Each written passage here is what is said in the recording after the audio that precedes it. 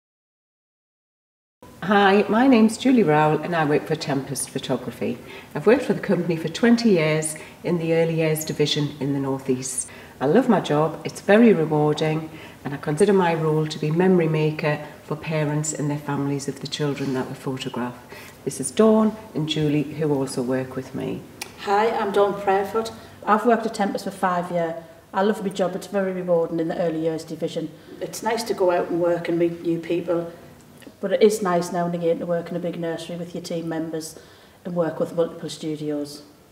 My name is Julie Wright. I'm part of the North East team. Um, I work in early years. I joined Tempest back in 2009. I've been with the company for seven years. Um, being part of Tempest is like being one great big family. Everyone's so friendly. I go into a lot of the nurseries and getting fantastic photographs for the parents, it's very rewarding.